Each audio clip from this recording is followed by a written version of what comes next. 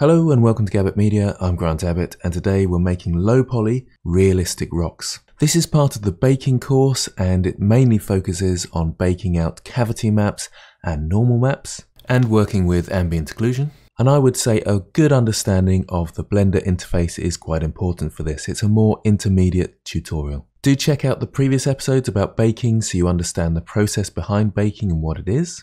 And if you're following my course on the website, make sure you've done the beginner sections. And all the links are in the description below. So very quickly, let's explain what baking a normal map actually means. If we look at the finished rocks at the moment, you can see they look very similar. But the one on the right is one and a half million faces, which we can see down here. And the one on the left, if I go into edit mode, you can see that's 225 faces. If I go into the shading tab and unplug the normal map, you can see what it looks like without it. And then I plug it in and that's what it looks like with the normal map. And this normal map that we've created is from this high poly texture here. And it works really well and looks really realistic in the way that it reflects and bounces the light off the surface of the object. So that's what a normal map does. So first of all, let's make our rock. I'll use the default cube and I'll press Ctrl 3. That will add a subdivision surface modifier to my cube. If for some reason that doesn't work, you'll just have to do it manually by going to the subdivision surface modifier and upping the viewport count to 3. So this is what we see, and I'll apply that. So that has subdivided our cube, and we've got nice topology to make our rock out of. The next thing is to go into the sculpting workspace, and just pull your cube around until it looks rock shaped. I'm going to turn symmetry off, so I'll go to the symmetry tab over here and turn symmetry off. And then choose the grab brush, make it nice and big and just pull your cube around until it's sort of rock shaped.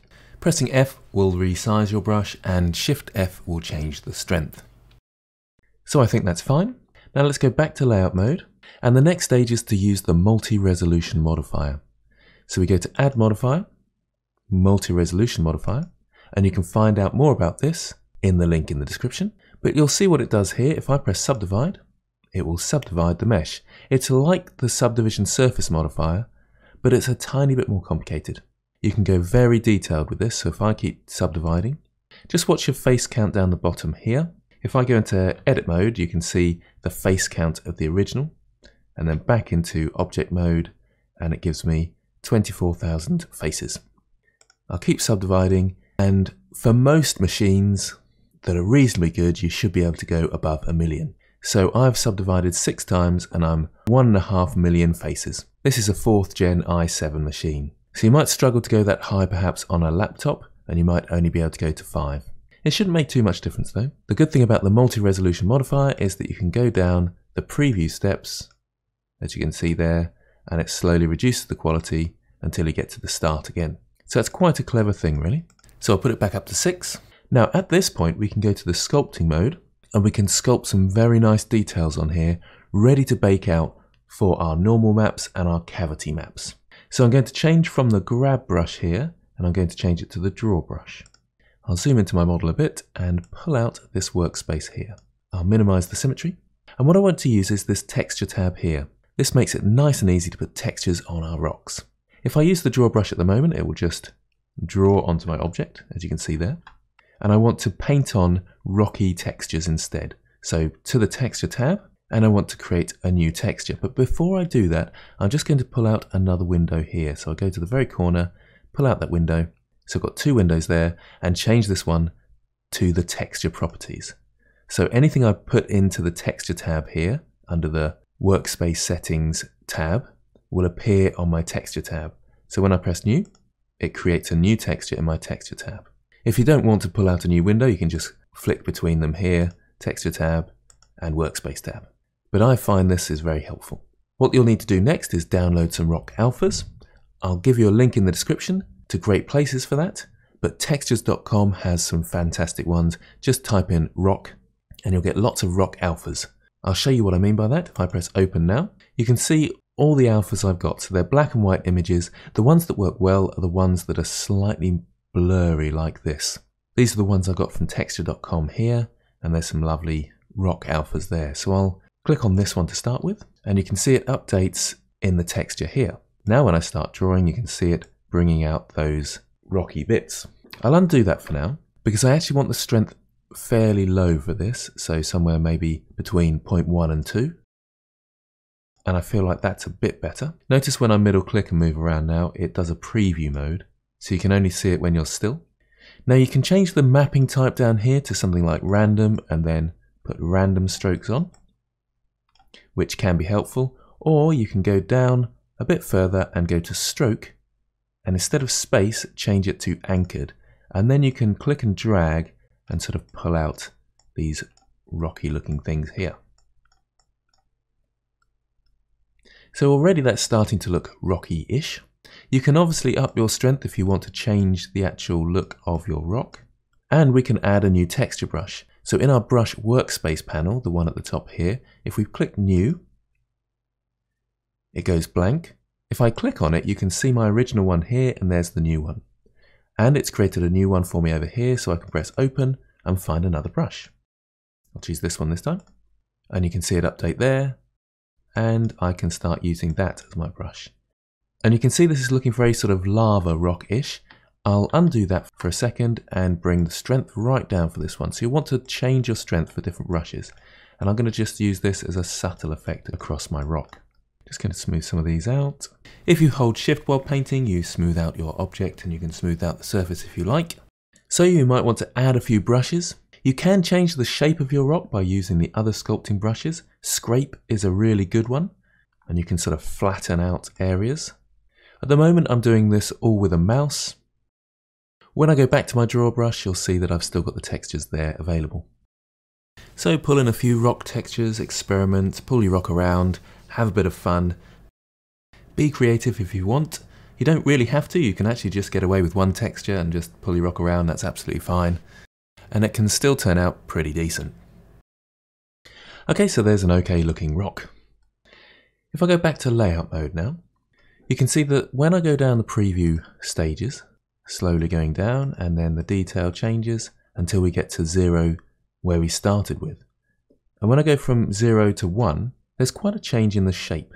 Now if I go back up to the top, which is 6, and press apply base, that will give this shape to the very base level. So if I go back down to 0, you can see that it's changed the base shape to match the top shape at level 6. But personally I feel like it's not really close enough. It is important that you match your base level or your low poly to your high poly in terms of shape as close as possible. You can see the difference between level 1 and level 0, and I don't think these sharp edges are going to look very good when they're rendered. So what I prefer to do is create a duplicate of this, so Shift D and left click, and now we have a duplicate, which is Cube 001. I'm going to call this Cube Low Poly, or Cube LP. And the original one, I'm going to call Cube HP. So we've got a high poly and a low poly. On the high poly, let's put that up to 6 again and just hide that for the moment. So press that I to hide it. And on the cube low poly, I'm going to put it up to 1 and then I'm going to apply it when it's like this. So it's 1500 faces and I'll press apply. So we've got this rock now that matches fairly closely to the high poly. When I press on the high poly and make that visible, you can see it overlaps pretty closely. That's really important when you're creating normal maps and cavity maps or baking out from one object to another. So let's hide the high poly again and with our low poly selected, I want to reduce the polygon count a bit so that it's a better low poly model for gaming. So a good modifier for that is the decimate modifier. You can use the new remesh modifier as well in the sculpt mode, but I'm just going to use the decimate because I think it does a slightly better job with these rocks. So decimate and then bring the ratio down. You can see the face count here as I bring it down and we can get quite low. We can go to something around 300 and that's looking pretty good. Once you're happy with that, press apply Go into edit mode and you might want to tidy bits up if there's any bits that are really awkward and odd. And you can see it's done a really good job of turning that into a low poly model. There's some sort of very sharp bits around the place and you could possibly tidy those up if you want to. The way you do that is you'd go across to the active tool and workspace settings under options and click auto merge. You can then grab a vertex and press G twice to grab and slide, slide it into another one and then it will merge those vertices. What you do have to be careful of is ones like this. Ones that are really close to an edge like that, they don't work very well. So GG, slide it to another vertices, and it should be fine. just go around your model and check that you haven't got any other ones that are really close, and that looks fine. So we've got our low poly and we've got our high poly. So back into object mode and let's go to the shading tab. So with our low poly cube selected, let's move in on it. And with the material, I'll change it to rock low poly. So we're quite sure which material we're using.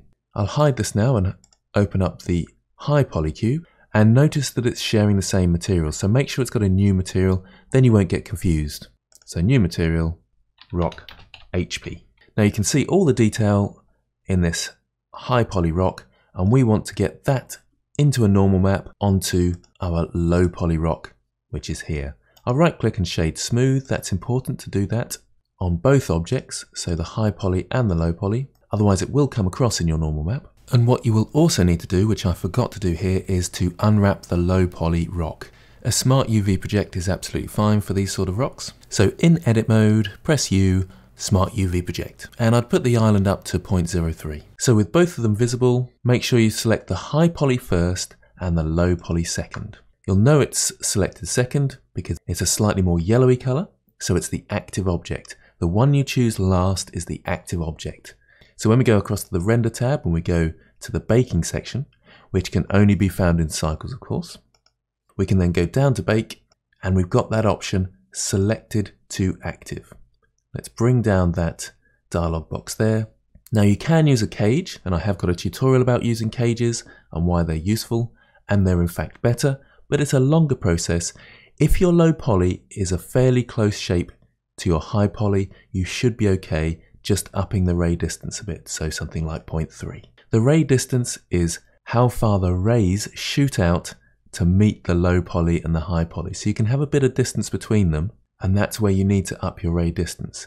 If your high poly is completely encompassed by your low poly, so if I select my low poly cube and scale it up, for example, and it's all inside like that, you don't have to up the ray distance because the rays are pointing outwards from the high poly, hitting the low poly shape. If they're closer, like they are when I undo that, you have to up the ray distance. Sometimes it's preferable not to make it really big like that because it sort of balloons out and it stretches your texture. So once again, high poly, make sure the high poly is selected, then the low poly, and that's highlighted yellow. Bake type, we want to go to normal map, and we're all ready to bake. We just need a texture now to bake onto. So let's create a new texture. Let's call this Rock Norms 2 because I've created one already. Now you can create a nice high pixel one if you want, 2048 by 2048 and we don't need the alpha, that will just increase the file size of the texture. Press OK. We need that texture in the rock low poly material. So Shift A, texture, image texture, and then find your rock norms 2. You don't have to hook this up, you just have to make sure it's selected. So that's the active texture now, and the cube low poly is the active object. So we're going from the high poly to the low poly, which is the selected, to the active, and we're baking it onto the rock norms texture. If I press bake now, this instantly turns blue and we can see the texture baking dialog box down the bottom there. Let's zoom out a bit and we can see it's a reasonably good bake. Now what I forgot to do was to unwrap my cube. So if your bake doesn't work, it may be that your cube isn't unwrapped. This is the automatic unwrap as it were that the cube originally had. I'll press Control Spacebar so we can see what this looks like. It's a good bake. The unwrap, however, will have a fair bit of stretching in it. You may not notice it too much, but it will cause problems with stretching of textures later on when we come to paint our texture.